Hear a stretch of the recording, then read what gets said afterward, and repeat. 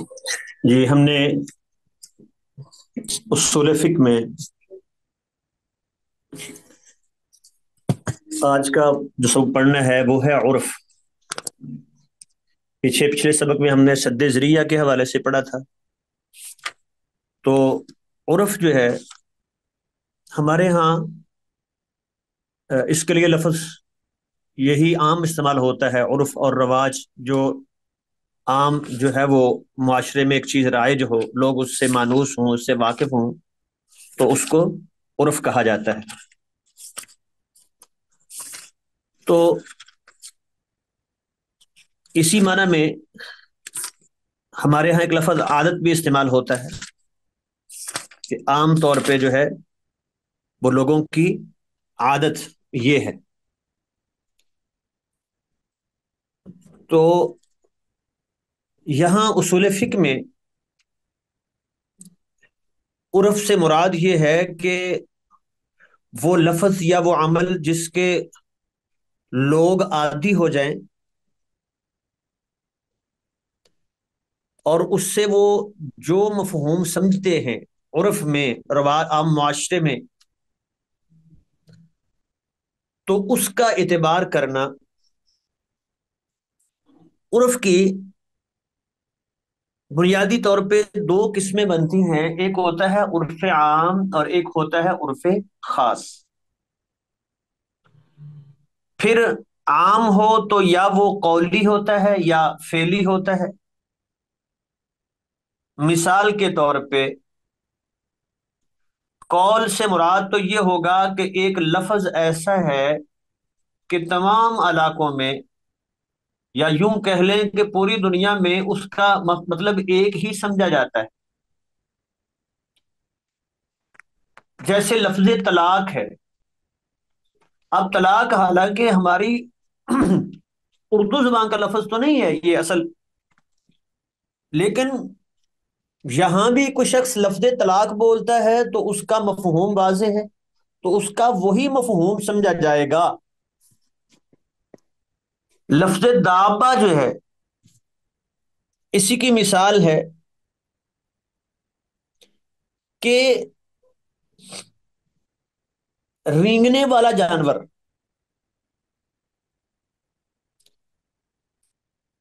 असल तो इसका माना यह था, लेकिन इसका इस्तेमाल होता है चार टांगों वाला जानवर उस पर। तो ये उर्फ़ है। यानी जो माना उर्फ़ में उससे मुराद लिया जाता है, वही समझा जाएगा। हम उसकी सादा अंदाज में ये मिसाल देते हैं उर्फ़ को समझने के लिए। यहाँ पाकिस्तान में आप किसी से सौदा तय करते हैं और वो कहता है, जी, ठीक है, दस हज़ार रुपए में, दस हज़ार में हमारा सौदा तय हो गया, दस हज़ार। अब मुतालबा करते वक्त कहे जी, दस हज़ार डॉलर दें मुझे। मैंने तो डॉलर की बात की थी। तो हम कहेंगे नहीं। यहाँ उर्फ़ में पाकिस्तान में जब दस हज़ार बोला जाता है तो वहाँ, यहाँ उर्फ़ यही है कि वो रुपया मुराद होता है। हाँ अमेरिका में बैठ के ये बात करे तो वहाँ वो कहे, मैं पाकिस्तान से आया हूँ। मैंने तो जो है वो दस हज़ार रुपया देना है। नहीं, वहाँ बैठ के अगर दस हज़ार की बात करेगा तो वो डॉलर ही मुराद होगा। ठीक है? तो ये मतलब है कि जो मफहूम एक माशरे में राइज है, लोग उससे मानूस हैं, उसका आम इस्तेमाल जिस माना में करते हैं, वही मफहूम उससे समझा जाएगा, मुमकिन है उसका लुगवी मफहूम कोई और भी हो।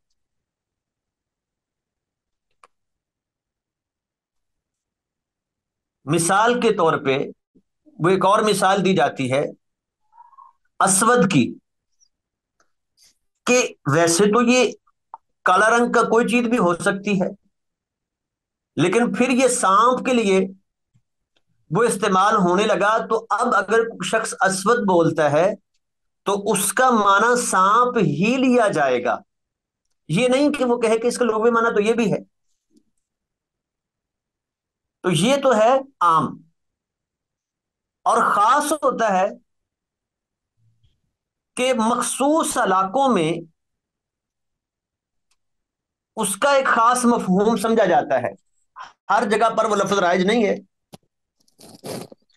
अब देखें ना, ये जो मुख्तलिफ़ सनतों या मुख्तलिफ़ ये लोग जो है ना, वो काम करने वाले हैं। एक एक जो है वो कारीगर है, गाड़ी का मोटरसाइकिल बनाने वाला।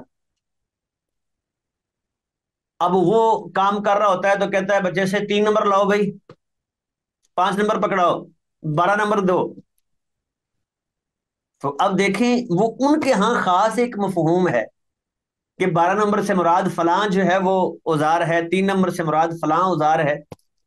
वो उनका एक खास मफहूम समझा जाएगा। अगरचे बाकी लोग उससे वो मानूस नहीं है, या बाकी लोग जो है वो मुमकिन है वो कुछ और ही समझें उससे। तो ये तो हो गया कौली। इसी तरह अमली जो होता है तो वो भी ऐसे ही, एक अमल ऐसा है कि वो तमाम इलाकों में मारूफ हो। मिसाल के तौर पे, आप जाते हैं दुकान पे, बल्कि यूँ कह लें कि होटल पे जाते हैं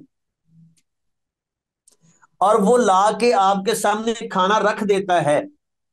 तो उर्फ़ ये है कि खाना रखना जो है, इसका मतलब होता है, खा लो, ये इजाज़त होती है। या किसी के यहाँ मेहमान जाते हैं, ये कह लें तो वो घर गया, अंदर से खाना लेके आगे लाके रख दिया। आपने खाना शुरू कर दिया, वो बाद में कहा, मैंने आपको इजाज़त तो नहीं दी थी। नहीं, हमारे यहाँ उर्फ़ ये है कि जब सामने रखा जाए तो वो इजाज़त ही होती है। वो खा, उसका मुराद होता है, खाइए। तो इस बिना पर बाद में झगड़ा हो जाता है तो वो ये दावा नहीं कर सकता कि मैंने तो इसे खाने की इजाज़त नहीं दी थी, मैंने तो आगे सिर्फ़ सामने रखा था। तो ये है कि ऐसा अमल जो मुआशरे में राइज हो और लोग उसका एक खास मफहूम समझते हो। मिसाल के तौर पे वो लेन देन में ये चलता है कि बाद औकात आप फल वाली रेडी पे जाते हैं, वहाँ आपने पैसे दिए, उसको बोला कुछ नहीं। उसको पाँच सौ रुपया पकड़ा दिया, वो एक ही फल उसने रखा हुआ है अपने पास। वो अंगूर बेच रहा है। उसने खामोशी से एक शापर दिया, आपको उसमें डाल दिए। ना वो बोला, ना आप बोले। तो अब ये सिर्फ़ लेन देन चूँकि रवाज ये है कि उसको बै ही समझा जाता है। वो कहे, मैंने तो बेचा नहीं है। या ये कहे कि, मैंने तो पैसे वैसे पकड़ाए थे चेंज लेने के लिए। तो नहीं। जब इसने साथ कुछ नहीं बोला तो उर्फ़ में यही है कि जब आप इस तरह फल वाली रेडी पे जाते हैं, उसको पैसे पकड़ाते हैं तो उससे मकसद होता है वो चीज़ खरीदना। तो अब अगर वो दूसरा शख्स दावा करता नहीं जी, मैंने तो खरीदने के लिए नहीं दिए थे। तो फिर उसकी वजाहत करता। जब वजाहत नहीं की तो उसका वही माना समझा जाएगा जो आम राइज है।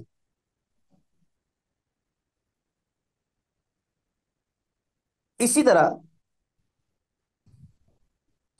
ये हमारे यहाँ हमाम है नहाने के लिए। आजकल तो उनका रवाज कम है ये पहले मौजूद नवराते थे। तो वहाँ कोई रेट शीट तय नहीं होता कि ये वक्त तय नहीं होता। इतना तय होता है रेट तय होता है कि इतने पैसे लेने हैं। अब वो साबन कितनी बार लगाएगा, कितनी देर लगाएगा, ये तय नहीं है कुछ भी। तो जो आम चलता है वो सुबह से दाखिल हो, शाम तक निकले ही नहीं कि भाई, हमारा तो मैं जितनी देर मर्ज़ी लगाऊँ तो ये नहीं, जो उर्फ़ में आम चलता है, वही उससे मुराद होगा। तो ये है अमली उर्फ़। तो दोनों सूरतें, वो उर्फ़ कौली हो या अमली हो, यानी अल्फाज ऐसे जिसका खास मफहूम समझा जाता है। तो जो मफहूम मुआशरे में राइज है अगर अगरचे उसका कोई लुगवी माना और भी हो, लेकिन आमतौर पे जब बोला जाएगा तो वही माना मुराद लिया जाएगा। अगर जिसमें इम्कान जो है, वो दूसरे का भी है। जैसे मैंने मिसाल दी है, पाकिस्तान में कहता दस हज़ार में ये सौदा तय हो गया तो पाकिस्तान रुपया मुराद होगा। यही बात जाके अमेरिका में करता है कि दस हज़ार में सौदा तय हो गया तो मुराद डॉलर होगा। और अमल में भी ऐसे ही है। अगर वो अमल के सामने खाना रखना जो है, ये इजाज़त की दलील होता है तो यही समझा जाएगा। वो बाद में दावा नहीं कर सकता कि मैंने तो उसको खाने की इजाज़त नहीं दी थी। ये दोनों कौली हों या अमली कभी आम होते हैं और कभी खास होते हैं। आम से मुराद हमने बयान किया जो सारे मुआशरे में फैल जाए, तमाम इलाकों में हो, यूँ कहें कि पूरी दुनिया में हो। जिसकी हमने मिसाल तलाक दी है। वो सिर्फ़ पाकिस्तान नहीं, वो हिंदुस्तान हो, वो अफ़गानिस्तान हो, वो सऊदिया हो, वो सब में ऐसे ही चलता है कि लफ्ज तलाक बोला तो उससे खास मफहम मुराद है। और खास ये होता है कि मखसूस इलाकों में, ठीक है, मखसूस लोगों के यहाँ वो खास इसलाह राइज हो, ठीक है। बाकियों के यहाँ अगरचे वो लोग उससे वाकिफ ना हों, लेकिन उस फन से ताल्लुक रखने वाले या उस इलाके के लोग जो हैं, उससे वाकिफ हैं। वो उससे खास माना मुराद लेते हैं। तो जो माना वो मुराद लेते हैं वहाँ जब वो आपस में मामला करेंगे तो बाद में एक शख्स दावा करे मेरी मुराद ये नहीं थी। तो उसका इतबार नहीं होगा। मुराद कौन सी होगी? जो मुआशरे में राइज है, जो उससे मुराद लिया जाता है। अब उर्फ़ की दो सूरतें बनती हैं। एक ये है कि उर्फ़ सही। उर्फ़ सही वो होता है कि जो शरी नसूस में से किसी नस का मुखालिफ ना हो और उससे कोई मसलहत जो है, वो जाया भी ना होती हो। और उससे कोई खराबी ना आती हो। तीन चीज़ें हो गई। किसी नस के मुखालिफ ना हो, किसी मसलहत को जाया ना करता हो, और किसी खराबी को ना लाता हो। मिसाल के तौर पे, हमारे यहाँ मारूफ है। शादी ब्याह के मौके पे वो निकाह से पहले जो कुछ मुख्तलिफ़ चीज़ें औरतों को दी जाती हैं, यहाँ हमारे यहाँ चलता है। मंगनी होगी तो चलता है जी, वो हर ईद देनी है। यानी हर ईद ईद पे वो तोहफा उसको कहते हैं, कुछ कपड़े बना के दिए जाते हैं। बाद में तलाक हो गई। तो क्या ये जो कपड़े या वो मुख्तलिफ़ चीज़ें जो दी हैं, उसको हक महर में शुमार करेंगे या वो तोहफा होता है? अगर हक मेहर में शुमार करेंगे तो वापस करना पड़ेगा सब कुछ उसको। अगर वो हमारे यहाँ रवाज ये है कि उसको हक महर का हिस्सा नहीं समझा जाता, उसको तोहफा समझा जाता है तो फिर जो है वो तोहफा दे के वापस नहीं लेते, फिर उसको वापस नहीं लिया जाएगा। अब हमारे यहाँ तो जो आम उर्फ़ है, वो तो वापस ले लेते हैं बाकायदा। अगर दो साल बाद चली और तीसरे साल जो है वो झगड़ा हो गया निकाह खत्म हो गया, कहते हैं, चलो, हमारी चीज़ें वापस निकालो। इतने सूट हमने दिए थे, इतना फला कुछ दिया था। तो जो चीज़ें वो हिस्सा शुमार होती हैं, हक महर का, वो तो हक महर में शामिल होंगी, चाहे नाम ना लिया हो। और जो चीज़ें हक महर का हिस्सा शुमार नहीं होती, उर्फ़ में, वो उसका नाम नहीं लिया तो वो शुमार नहीं होंगी। इसी तरह, देखिए मुआशरे में राय है जब निकाह होता ना तो निकाह के बाद मिठाई बांटी जाती है कुछ ना कुछ। तो अब अगर वो लड़के वाले नहीं लेके आए तो लड़की वाले ये एतराज़ कर सकते हैं कि भाई तुमने मिठाई को नहीं बांटी? वो कहेंगे, हमने तो आपने कहा ही नहीं था। तो वो कहेंगे, उर्फ़ दलील है। इसके लिए कहने की ज़रूरत नहीं थी। उर्फ़ में ये बात मारूफ है, आपको पता ना चाहिए था, ये लेके आनी थी। तो इस बिना पर वो इतराज कर सकते हैं। इसी तरह, बाज इलाकों में ये बात मारूफ है कि घर में जो काम करने के लिए मजदूर लाते हैं ना, उनको दोपहर का खाना देते अब शहर में ऐसा नहीं है, देहातों में ऐसा चलता है। तो एक मिस्त्री जो गाँव में काम कर रहा है, वो दावा कर सकता है कि, जी, मुझे खाना आपने देना था। आपकी ज़िम्मेदारी है। शहर में ऐसा नहीं कर सकता क्योंकि वहाँ का उर्फ़ वो है। गोया कि जब वो बात लेन देन तय हो रहा था, मजदूरी तय हो रही थी तो मिस्त्री के दिन में बात थी, खाना तो मुझे मिलना है। गोया कि वो उसकी मजदूरी का हिस्सा था। और यहाँ शहर में जो है, वो चूँकि ये उर्फ़ नहीं है, यहाँ जब वो मजदूरी तय कर रहा है तो वो उसके जहन में ये बात नहीं है कि मुझे खाना भी मिलेगा। ये उसके उर्फ़ का हिस्सा नहीं है। तो यहाँ दावा नहीं कर सकता, वहाँ दावा कर सकता है वो। तो इसी तरह, बास जगहों पर, बल्कि हमारे यहाँ भी चलता है, कि निकाह के मौके पे अगर लिखा देते हैं ना, कि जी हक मेहर, वो मुआजल है या गैर मुआजल बाद में अदा करना है। और बाद में अदा करने से मुराद यही होती है कि जब ये फौत होगा एक फरीक तो उस वक्त देंगे, उससे पहले कोई नहीं देना। बल्कि एक और होता है कि एक हक में वो लिखा जाता है जो लेना मकसूद होता है और कुछ लिखा जाता है जो लेना मकसूद नहीं होता, बल्कि होता है, अगर ये तलाक देगा तो इसको जो है बतौर सजा इतना देना पड़े वो गैर मुज्जल से मुराद ये लेते कि सिर्फ़ वो तलाक की सूरत में अगर ये छोड़ता है तो वो हिफाजत के लिए जो है, ताकि ये छोड़े ना तो इसलिए वो ज़्यादा सारा लिखवा लेते हैं वो लेना मकसूद को नहीं होता। उर्फ़ ये होता है। तो अब उर्फ़ में जो मफहूम मुराद है, अगर ये है कि वो लेना नहीं है, बल्कि मौत के वक्त ही है तो पहले उसका मुतालबा नहीं हो सकता। तो ये हो गया उर्फ़ सही, जिसके लिए तीन शर्तें हैं, कि किसी नस का मुखालिफ ना हो, किसी मसलहत को जाया ना करता हो और उससे कोई खराबी ना आती हो। दूसरी किस्म है उर्फ़ फासिद।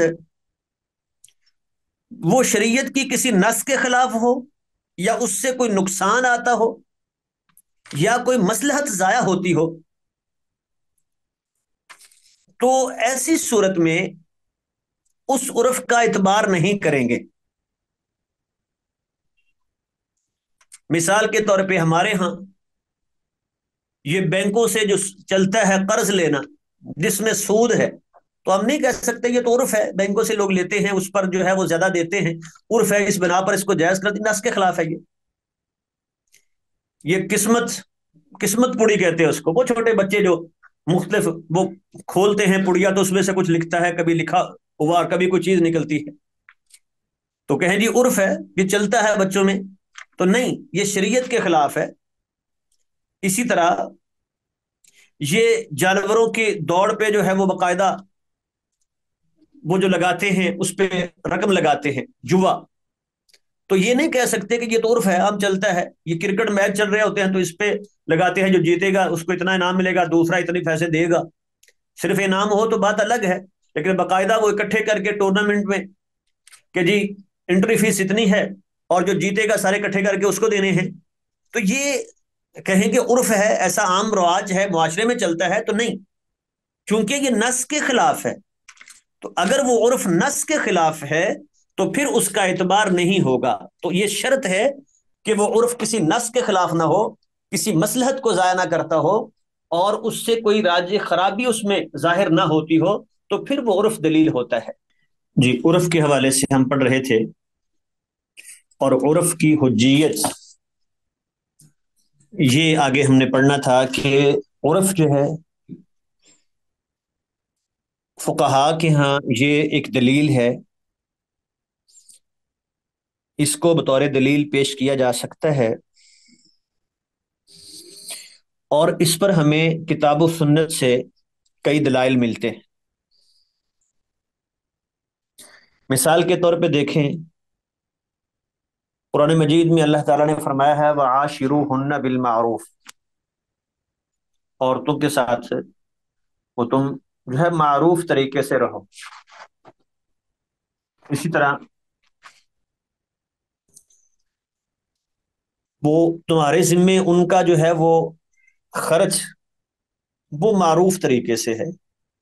तो मारूफ उर्फ़ में जो माशरे में चलता है, वो उनका खर्च जो है वो बीवी को देना ज़रूरी है। मिसाल के तौर पे इस पर फुकहा ने कहा है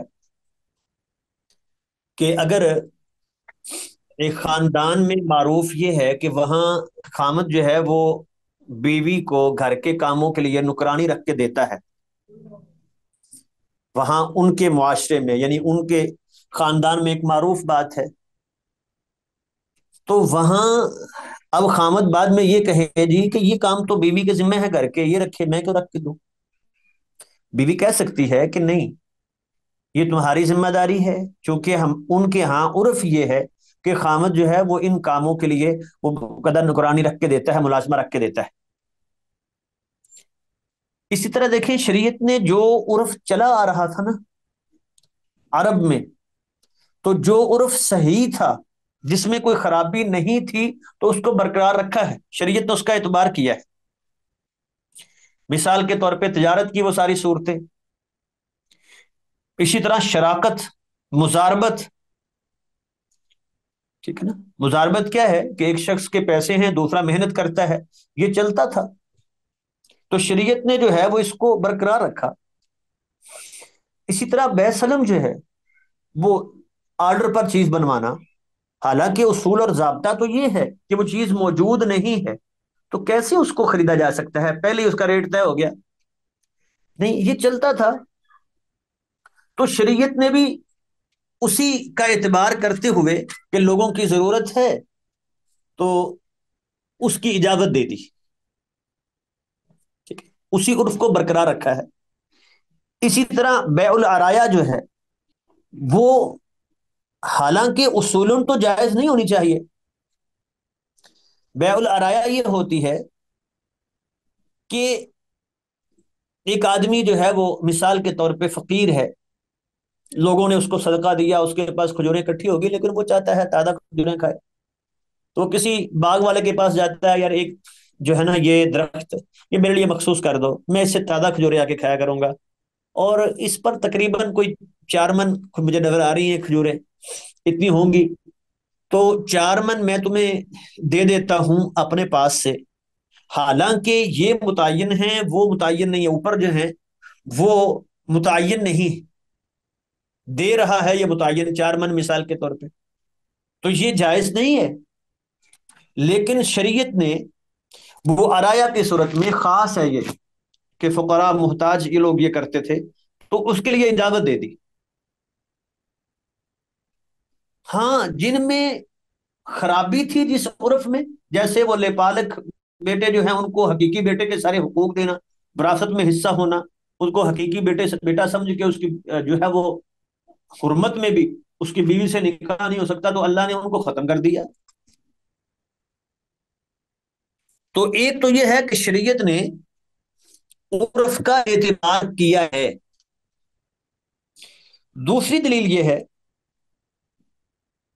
कि असल में उर्फ़ कोई अलग दलील नहीं होती, बल्कि जो बाकी दलाइल है ना, उन्हीं की तरफ़ लौटता है।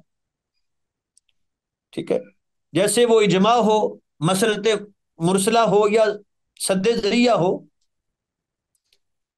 तो वो उन्हीं में से किसी की तरफ़ लौटता है, कोई अलग चीज़ नहीं होती।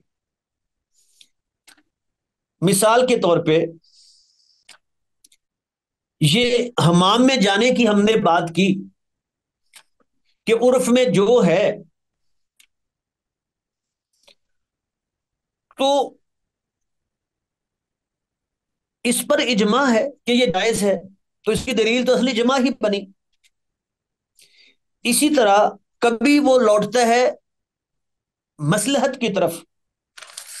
जैसे ये बैसलम वगैरह है तो लोगों की मसलहत को तरजीह दी है। इस बिना पर जो है उसकी इजाज़त दी। और तीसरी बात यह है कि मुख्तलिफ़ जमानों में फुकहा इसको दलील बनाते रहे हैं, उलमा ने इसको दलील बनाया है। तो तीन किस्म की दलीलें हो गई।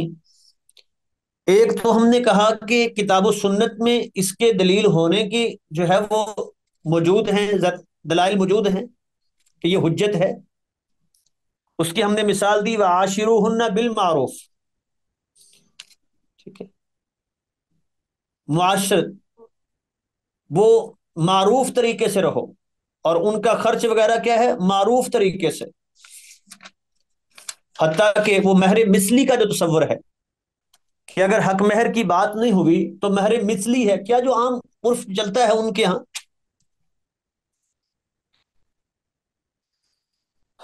तीसरा पहलू है कि उर्फ़ के मुतबर होने के लिए शराइत क्या है? तो पहली शर्त यह है कि वो किसी नस के कुल्ली तौर पे मुखालफ ना हो।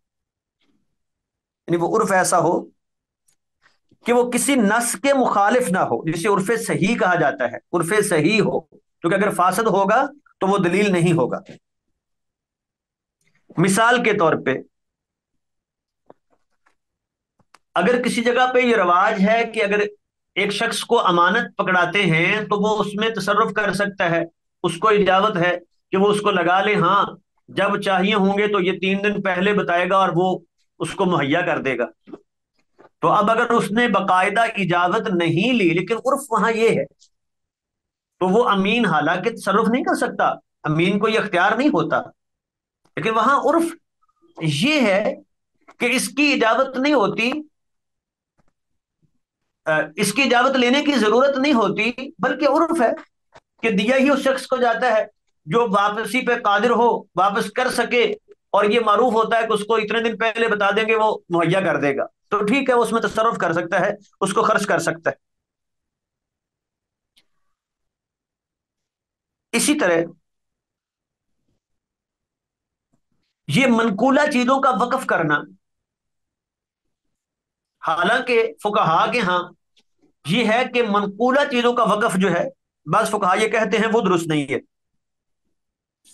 लेकिन उर्फ़ में जो मारूफ हैं, जिनका रवाज है कि वो मनकूला हैं, लेकिन उनको वकफ किया जाता है तो हम कहेंगे ठीक है।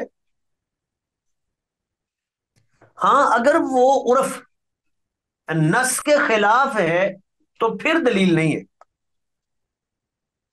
जैसे हमने सूद की मिसाल दी कि वो कहें जी ये उर्फ़ है, अब तो इतना फैल गया है, इसके बगैर तो कोई दुनिया, पूरी दुनिया में जो है चल रहा है तो ये उर्फ़ है, इसको दलील बना ले? नहीं। दावत वलीमा में वो कहें जी उर्फ़ ये है, माशरे में हमारे खानदान में तो शराब के बगैर जो है वो दावत होती नहीं है। तो इस बिना पर शराब का अहतमाम करना तो जायज़ नहीं होगा, वो नस के खिलाफ है। और लिबास उतार देना ऐसे मौके पे कि जी हमारे यहाँ ये रिवाज है कि फलाम मौके पे जो है वो लिबास उतार के सारे लोग नंगे इकट्ठे होते हैं तो ये नस के खिलाफ होगा ये इसका इतबार नहीं कर, किया जाएगा। और दूसरी शर्त यह है कि वो मुसलसल बिल अमल उस पर मुसलसल अमल चलता आ रहा हो। अगर एक रवाज था, फिर बाद में खत्म हो गया तो अब वो दलील नहीं रहा। ठीक है? वो जब था, उस वक्त दलील था।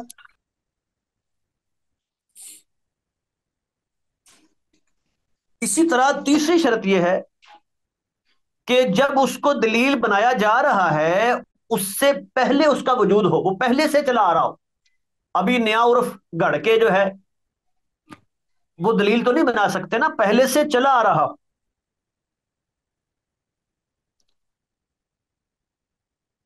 तो जैसे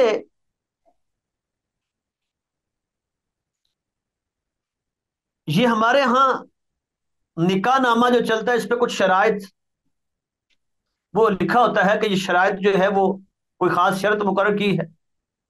तो अगर उस पर कोई शर्त लिख देते हैं, ये शर्त है और वो शरीयत के मुखालफ शर्त नहीं है तो उसका इतबार होगा।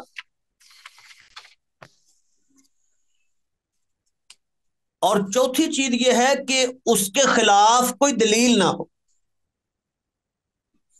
अगर उसके खिलाफ कोई दलील आ गई, ठीक है तो फिर वो उर्फ़ जो है वो हुज्जत नहीं रहेगा।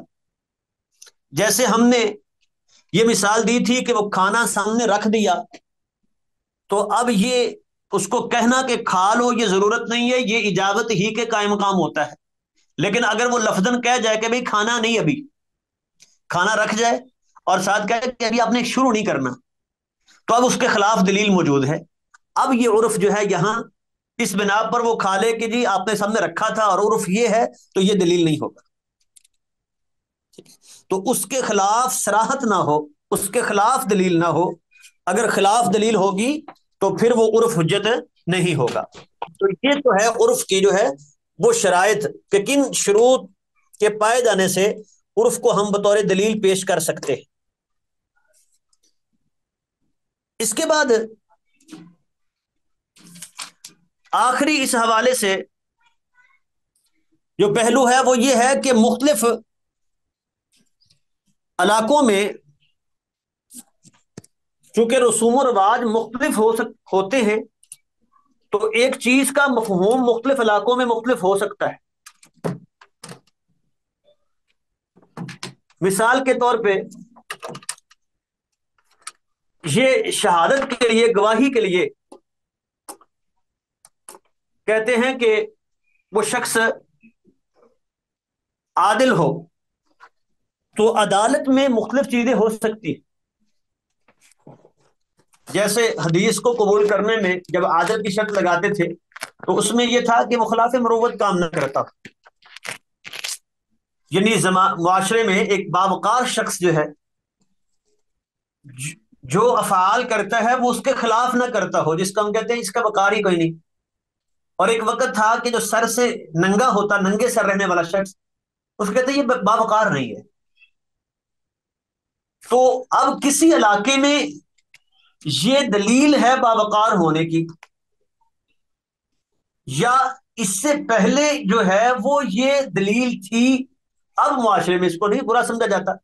हम देखते हैं, ये बुज़ुर्ग बाबों से बात करते हैं ना तो वो कहते हैं कि हमारे देहातों में, गली में अगर कोई ऐसा शख्स जो है वो नहाने के बाद बाल जो है कंगी करके नंगे सर आ जाता तो उसके सर पे मट्टी डाल दी जाती थी।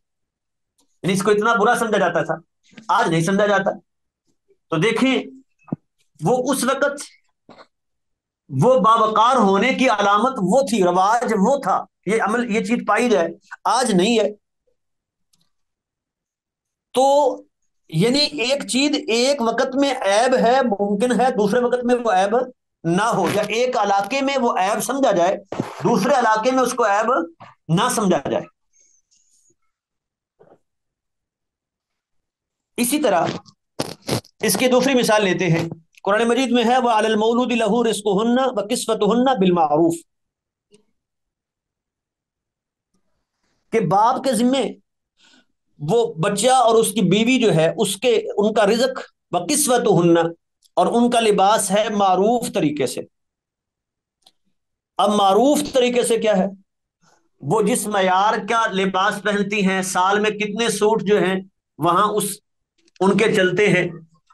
तो ये उतने उस पर मुतालबा किया जाएगा कि इतने दो। अगर एक वो देहात का रहने वाली औरत है, शादी वहाँ हुई है, वहाँ रहती है तो वहाँ रवाज क्या है कि हज़ार रुपए का सूट लेना है और दो सूट काफ़ी है गर्मियों का, एक सर्दियों का। और लाहौर शहर में रहने वाले के लिए मुमकिन है कि वो चार सूटों का रवाज हो और वो भी पाँच हज़ार से कम कोई ना हो तो ये उर्फ़ है। तो बिल मारूफ साथ अल्लाह ने जब वसत भी दी है तो मारूफ कहा है, ये नहीं बयान किया कि कितना हो, कैसे हो। जो मुआशरे में आम चलता है, ठीक है। और फिर इसी तरह, बाद औकात वक़्त के बदलने से, इलाके के बदलने से, जब कोई आदल, आदत बदल जाए तो फिर उसका हुक्म भी बदल जाता है। जैसे हमने कहा कि पहले नंगे सर रहना ये बावकार होने के खिलाफ बात थी। यानी उसको समझते कि ये शख्स गोया के अदालत की तारीफ़ पे पूरा नहीं उतरता। इसको आदिल नहीं कह सकते। और आज ऐसा नहीं है। तो इसलिए एक वक्त में एक चीज़ मुमकिन है, वो ऐब शुमार हो। दूसरे वक्त में ऐब शुमार नहीं होती। तो जब ये उर्फ़ बदला तो हुक्म भी बदल जाएगा। मिसाल के तौर पे आजकल ये एक फ़ैशन चल रहा है कि वो लड़के लड़कियाँ जो है ना, वो जो वो पहनती हैं, पैंट तो उसमें वो फटी होती है। बाकायदा ये एक फ़ैशन है। हालाँकि यही फटा होना पहले ऐब था। वो चीज़ वापस कर देते कि भाई ये फटी हुई है, मैं कर लू? आज अगर वही चीज़ वो ऐब नहीं रही। बल्कि वो बाकायदा उसको जो है वो मखसूस तरीके से उसको डैमेज किया जाता है, फाड़ा जाता है। तो आज जो है उसको वो चीज़ वापस ले जाए चीज़ इसमें ऐब है, मैं लेता ही नहीं। तो मुमकिन है वो ऐब शुमार ना किया जाए उसको। तो ये है कि आदात के बदलने से बाज अवकात हुक्म बदल जाता है। जब उर्फ़ वो नहीं रहा तो हुक्म भी बदल गया। इसीलिए ये जो गवाह का आदिल होना है तो बाज उलमा ने इसमें कहा कि अब इस वक्त चूँकि हालात ऐसे हैं, वो अगर आदिल सारी शर्तें ढूंढे ना आदिल की, कि गवाह आदिल हो तो फिर बनेगा ही कोई नहीं। तो बस जहरी अदालत काफ़ी है। अब वो शर्तें जो है इस वक्त ना ली जाए। बाब ने ये कह दिया सिर्फ़ हालात के बदलने से वो हुक्म बदल गया। ऐसे ही उसकी एक मिसाल है कि एक वक्त था कि जब घर तामीर किया जाता तो एक जैसे सारे कमरे होते थे। तो उस सूरत में फुकाहा ने कहा कि अगर एक दो कमरे देख लिए हैं तो बस वो इख्तियार हो गया था ना, कि देख के फिर वो वापस कर सकता है कि मैंने देखा है, मुझे पसंद नहीं आया। अब अगर एक दो कमरे देखने के बाद ये वापस आ गया तो सौदा पक्का हो गया बस। अब ये नहीं कह सकता, बाकी कमरे मैंने देखे हैं, मुझे पसंद नहीं आए। क्योंकि जब एक दो देखे थे तो बाकी कमरे भी वैसे ही थे। तो ये इख्तियार इसके पास नहीं। लेकिन आज ऐसा नहीं है। आजकल फ़र्क हो गया। लाजमी नहीं है कि सारे कमरे एक जैसे हों। तो आज अगर जब तक वो सारे कमरे नहीं देखता, ये इख्तियार उसके पास रहेगा। वो कह सकता है कि भाई, मैंने दो कमरे पहले देखे थे, अब ये देखे हैं तो मुझे नहीं पसंद आया ये। इसका ऐसे ही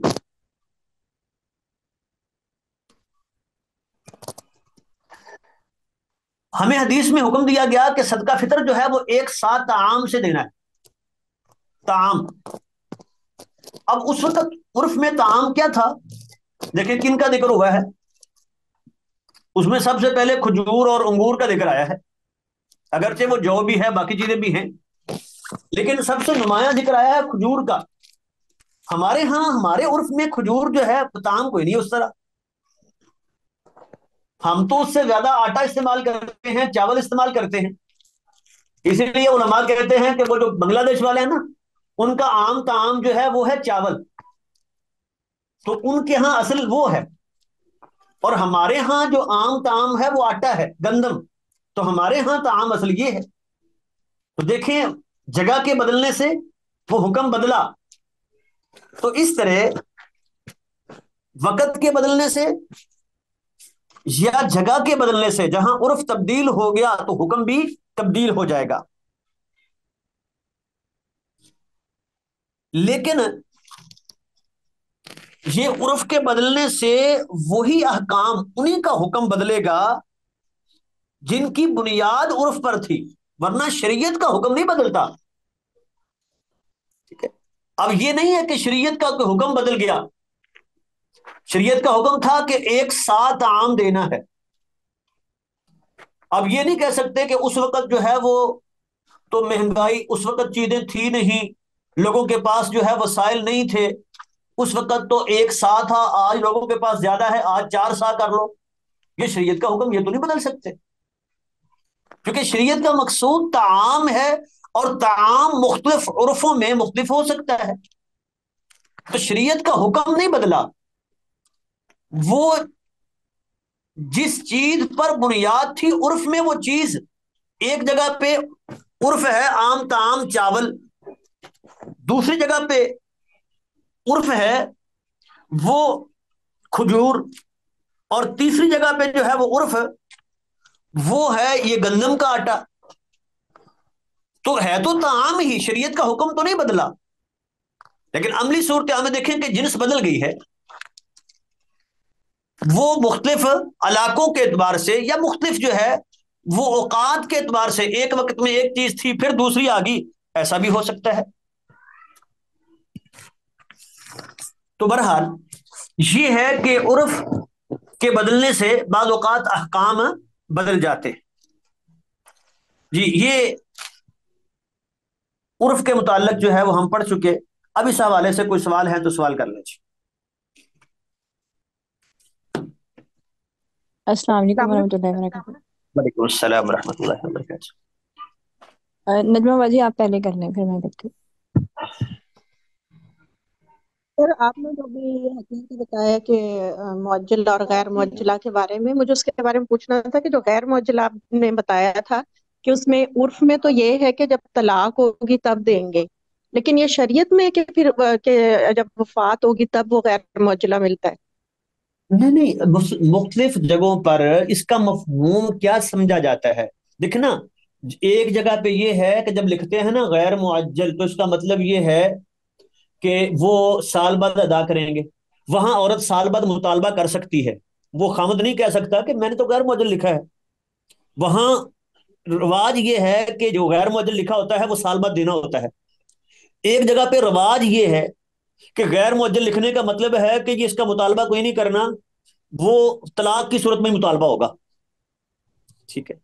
तो वहाँ तो साल बाद जी वहाँ साल बाद औरत मुतालबा कर दे। दो मेरा हक महर। खामद कह सकता है कि ये तो मैंने गैर मुअज्जल लिखा था। और गैर मुअज्जल का मफहूम ही ये है कि इसका मुतालबा कोई नहीं करना। ये डराने के लिए रखा हुआ है। इसी तरह एक जगह पे रवाज ये है कि गैर मुअज्जल लिखने का मतलब है कि ये सिर्फ़ वो जब फौत होगा तो उसी वक्त वो विरासत में से मिलेगा। उससे पहले मुतालबा नहीं करना तो वहाँ औरत मुतालबा करती है तो उसका एतबार नहीं किया जाएगा। वो उसे अदालत कह सकती है कि आपका मुतालबा दुरुस्त नहीं है, क्योंकि इसका मफहूम मुआशरे में ये चलता है। जी, बात समझा गई बेटा? तो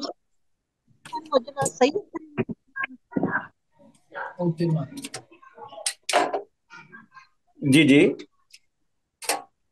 सर शरीयत इसकी इजाज़त देती है? मतलब ये गैर मुअज्जला जो लिखते हैं। नहीं, लिख कर सकते हैं ना। गैर मुअज्जल होता है, बल्कि बाद मुकर्रर नहीं होता। ये भी है, महरी उस सूरत में आ जाता है। तो गैर मुअज्जल की इजाज़त तो है ना, कितने ऐसे सहाबी हैं आदिश में वाकयात मौजूद हैं।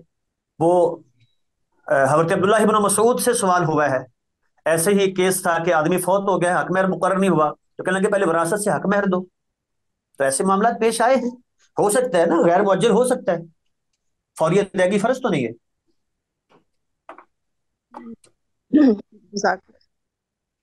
जी। मोहतरम मेरा ये सवाल है कि जो आपने उर्फ़ फासदा का बताया है तो उसमें तो फिर ये सारी रस्म रिवाज जो हम लोगों ने हिंदुओं से ली हैं वो सारी उसमें शामिल हो जाती है ना? उन पे अमल नहीं नहीं करना चाहिए। अगर तो शरीयत के मुखालिफ है तो उसको हम दलील बना के पेश नहीं कर सकते। शरीयत की किसी नस के मुखालिफ जो है, अगर उर्फ़ है तो उसको हम पेश नहीं कर सकते। जैसे ताश खेलना अगर जो है, वो लोगों के यहाँ मारूफ हो जाए तो कहें जी उर्फ़ में चलता है। मैंने मिसाल दी थी, उर्फ़ है जी के जो मैच होते हैं तो मैच पर वो इनाम रखा जाता है, ठीक है? तो हम उसको पेश नहीं कर सकते, वो शरीयत के नसूस के खिलाफ है, वो जुमे में आता है। जी, जैसे ये अब शादी वगैरह पे मेहंदी की रस्म है तो ये भी हिंदुओं से आई है ना लिहाजा ये उर्फ़ फासदा में आएगी ना फिर। एक मिनट बेटा इसको समझे। हमने बार बार ये जुमला बोला है नस के खिलाफ ये किस नस के खिलाफ है? वैसे अगर वो खुशी का इजहार यूँ करते हैं तो मेहंदी का मतलब क्या होता है? एक है उसमें जो नाच गाना हो वो गलत है कोई शक नहीं है। एक है उसमें बाकायदा वो जो कि गाना बजाती है वो गलत है कोई शक नहीं है। एक है कि सिर्फ़ वो शादी के ऐलान के तौर पे ये होता है ये गोया कि शादी के ऐलान का हिस्सा है कि वो कोई ना कोई तोहफा भेजा जाता है इस मौके पर वो औरत की तरफ़। तो वो किसी नस के खिलाफ तो नहीं बनता। अच्छा। यानी अगर इतना सिर्फ़ है ना कि वो बकायदा जो है वो औरत को तैयार करना ये उस तैयारी का हिस्सा है कि उसको जाके बकायदा मेहंदी लगानी है और उसको जो है वो मुख्तलिफ़ को तोहफा तायफ देना है। अगर यहाँ तक मालूम रहे जिसमें शरीयत की कोई खिलाफ वर्जी ना हो तो फिर तो कोई हर्ज नहीं है उसमें। जी।